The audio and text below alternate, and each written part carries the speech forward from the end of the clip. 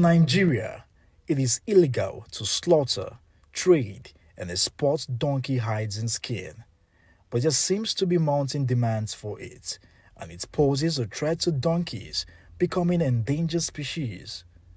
A truckload from Kebbi State has been seized by customs officials of the Federal Operations Unit Zone B. Based on information, we are able to intercept this uh, truckload of uh, uh, donkey skin. Uh, most of us here will imagine how many donkeys will you kill to get this truckload of, uh, of uh, skin. we have got it based on intelligent information, and we are able to had a very coordinated response to that situation, and we got it. We are working with the sister agency to ensure uh, we hand it over to the right agency to continue investigation to see how and where this type of uh, illegal operation is taking place.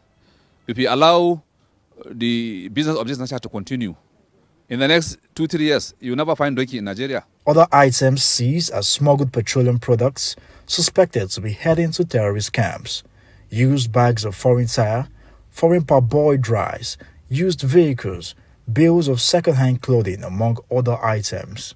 Officials say smugglers now change their consignment method just to evade customs detections. Imported foreign rice is concealed into a bag of beans.